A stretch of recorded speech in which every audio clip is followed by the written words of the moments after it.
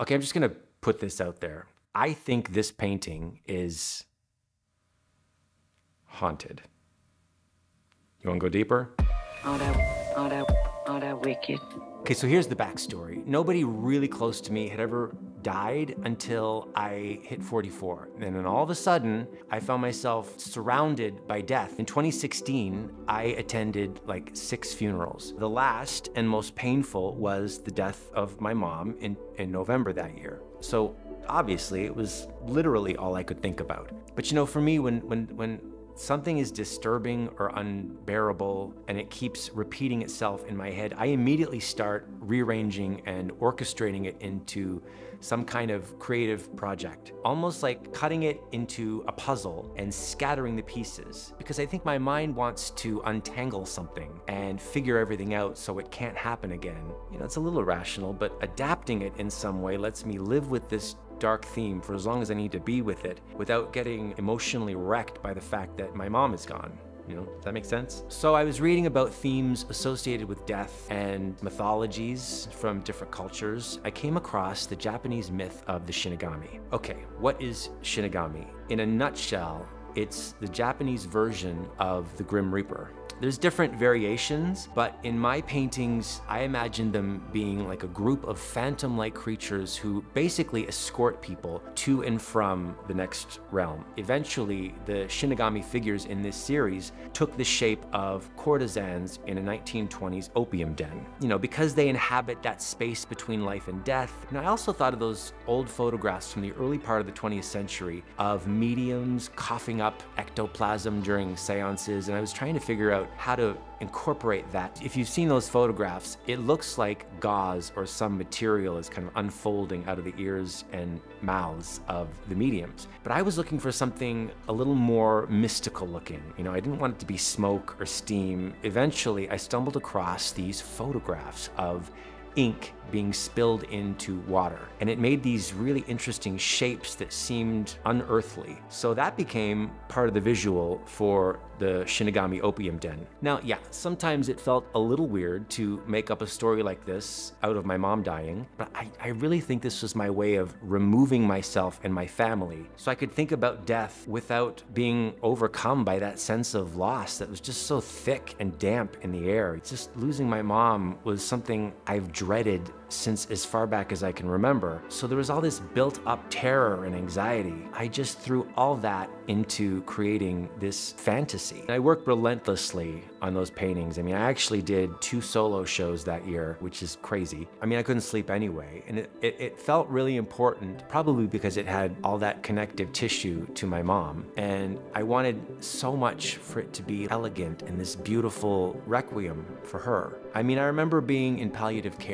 beside her bed and just thinking, this is it. This is that moment in life I never felt I could come to terms with. Like imagining what she was going through and, you know, you really felt death in the corners of the room. And we all just sat there beside it quietly. It was slowly like coiling itself around my mother. That's how it felt to me. I think that's actually how it came across in these paintings. This cold, austere, mystical serpent that you just cannot negotiate with.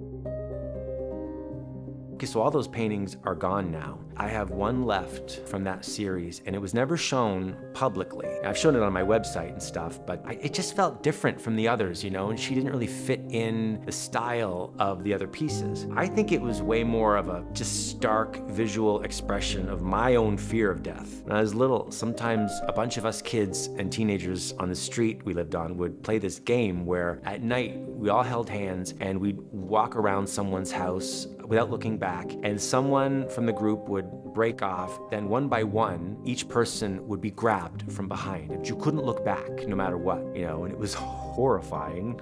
we loved it. For some reason, I think of that game when I look at this painting. She's considering her own death, caught in that transitional moment between depression and acceptance, and she sees her own fragile place in the world in that vulnerable spider hanging from the web. And from behind, the, the Shinigami sort of starts enfolding her.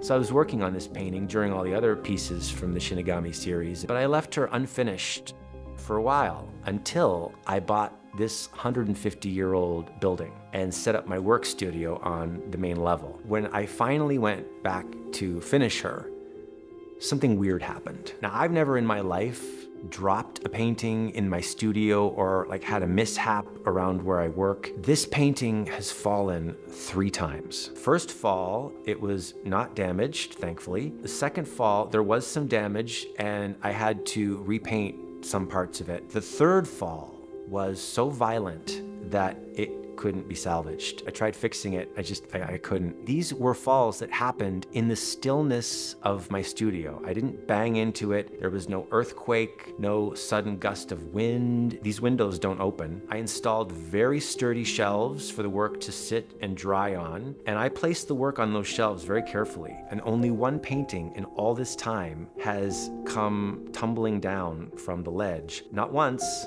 not twice, but three times. You know, like I'm just sitting there painting, and all of a sudden, thwack! I, I, I, I have no explanation. So I put it away.